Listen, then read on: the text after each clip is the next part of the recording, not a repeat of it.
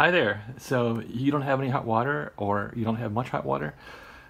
That was my situation also. This is a very complex system here by A.O. Smith.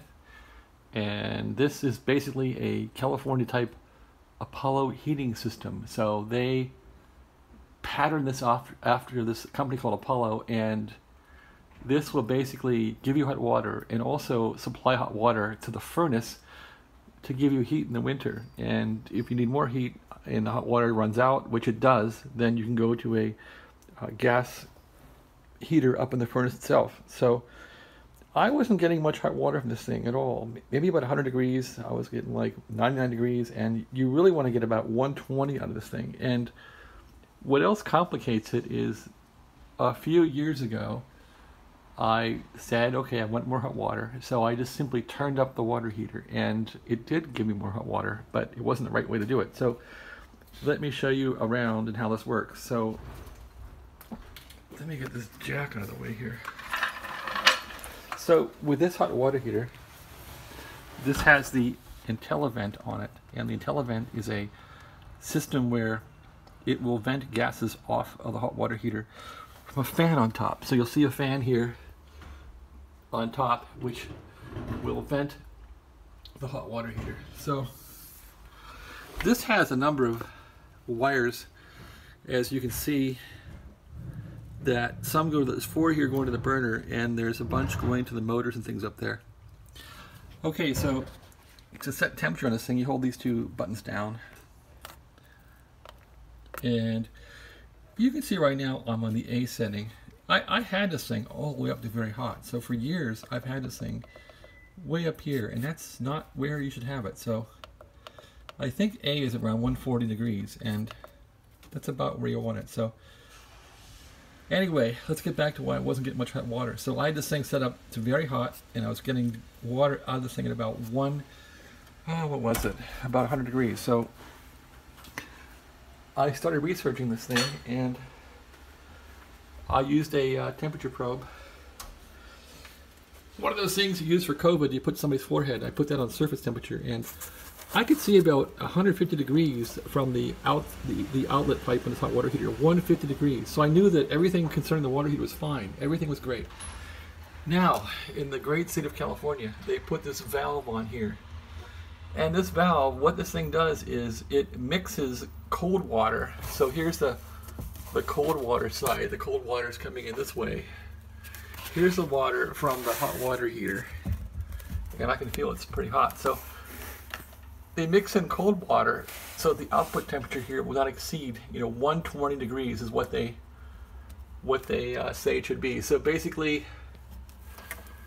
I figured the hot water heater has 150 degree water coming into here I'm getting 100 degrees out so this valve as you can see it leaks a lot it's been a trouble over the years but I've never touched this thing so and you're supposed to unscrew this little bottom part unscrew this little hex screw here in the bottom.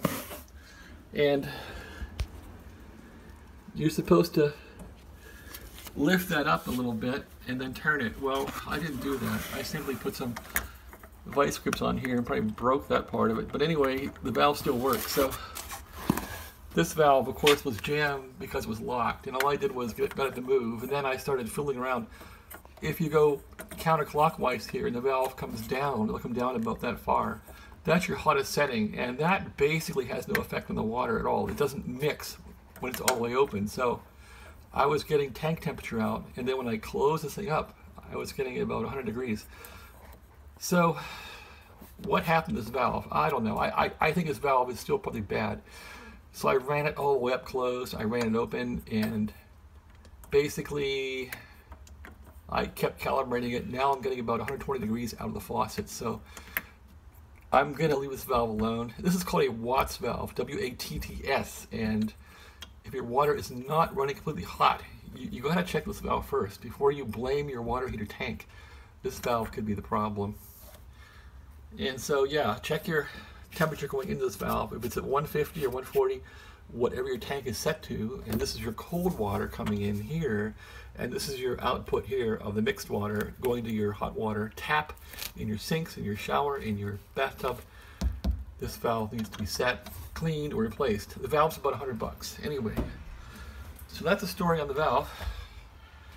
And of course, they have a little pump here with Apollo. There's a pump.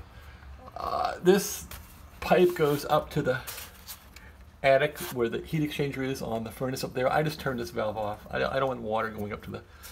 I don't like this thing heating, uh, using water for the uh, furnace, so I turned it off. I want the hot water tank just to give us hot water. So that's the story completely. And in this county, you need to have this blower on here. That's about it. And if this thing gets stuck, you can just unplug it.